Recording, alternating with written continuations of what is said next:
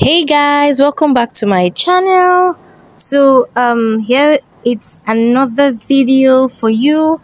And today i'll be showing you how to tie a simple gele. So i have already made my pleats about four or five of them. And it's a 65 35 um ratio meaning one is way smaller. The reason why that hand is super small is because the overall length of my gele is quite small. So i turned like i i of course made my pleat to the end then i crossed it at the back the longer one down the up the shorter one up. Then i brought the longer one above her head again. I brought it above her head and i'll just start to create my pleats so this is a gele that you can easily um, throw on. You are going to church or a quick occasion you know. And if you have watched up to this point or you're hearing the sound of my voice please do well to leave to subscribe to my channel for much more exciting videos like this. I drop us all makeup tutorials makeup tips makeup hacks so do well to subscribe to my channel for more exciting videos. Also do well to like this video if you enjoyed it. And if you have a video in mind you'd like me to create or you have any questions please do well to leave it in the comment section. I will be more than glad to hear your thoughts and your questions and answer your questions. So as you can see here i'm creating the pleats and i'm just gradually forming a wide spaced fan while I'm creating the pleats. I'm doing this very slowly just because it is a tutorial. This is something you can quickly do because the fans do not have to be super perfect because this is not a fan gele. So I'm just, the fan is just like creating allowance for the kind of style we're creating so you can see it. If you are trying it you may want to watch it over and over and keep trying it because practice makes perfect. So you just watch it keep watching again and keep trying it. So i'm just creating the fan until the top of my gele is exhausted. Then um of course you don't want to lose your pleats your pleat is the beauty of your gele so I am gradually working my way down arranging the pleats neatly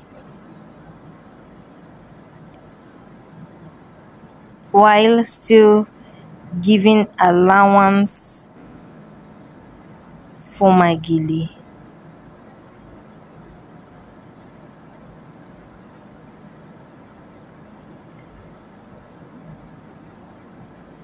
So like i said this is not a fan video.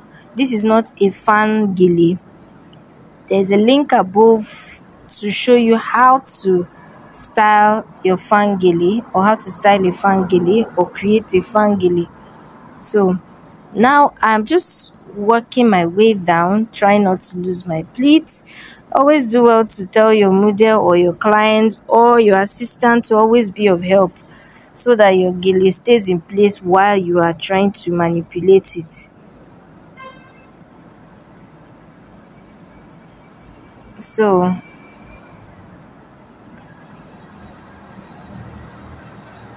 as you can see I'm just fixing it until my gele is exhausted then that particular place where it meets where the end of the pleat meets I'm just going to twist it and twist and twist it. If you like to sec if you would like to secure it with a pin just like I'm doing very fine so that it doesn't go off or it doesn't go out of place. So I'm securing it with a pin to the bottom part of the gele and I'm just going to be holding that spot while I twist the gele so it doesn't affect the pleats I've already created. So my the length of my gele is actually short shorter than normal. So normally eh, your gele supposed to be long enough to tie it at the back. But because it is short i have to pin it all the way. And if i use though that's just that small edge to try to make it tight while tying it. It may disrupt my already created pleat so i'm just going to roll it and pin it. But if yours is long enough just roll it till the back of your model or your client's head or your head and tie. And that's that. But here i'm rolling and i'm pinning okay so you want to pin in a way that it's not super visible that the whole head is packed with pins. So you just want to hide your pins while pinning them.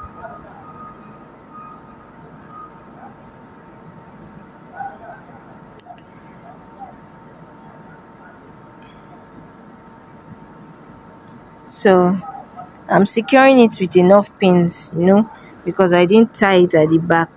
So it's well secured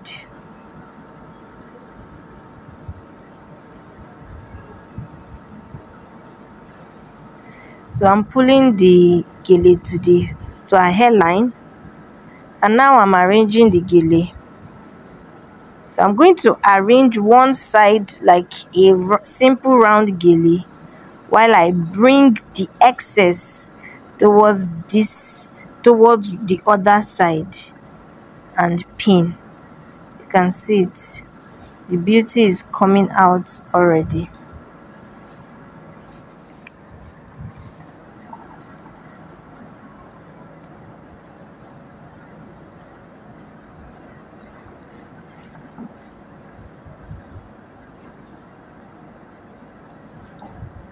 so i'm just going to arrange this style at this point. This is an unconventional gele so it hasn't really been tagged the name but it's just one of those simple um you know simple new looks that you can just quickly tie and turn up for church or whatever occasion it is. So you just pin wherever you feel needs pins.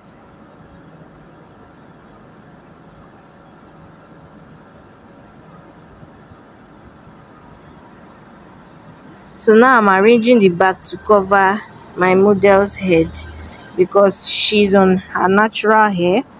If your model is on maybe braids you may want to roll it roll the gele to expose the braids just to if the braids are very neat. But since my model is on her natural hair i'm covering it up and i'm pinning it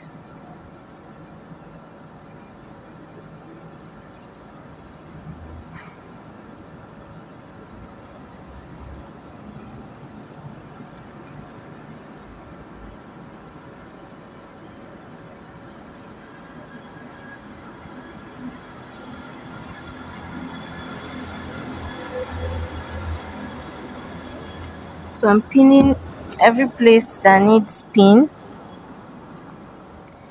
And I'm arranging the front and pinning the required mm, the required place just to give it the beauty. I'm adding the final finishing touches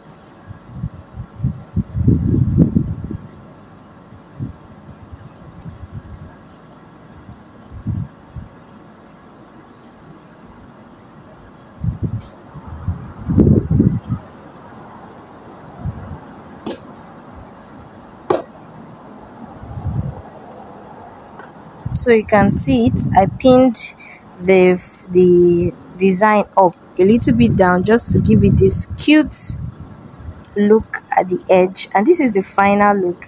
I hope you enjoyed this video. Stay tuned for more. Bye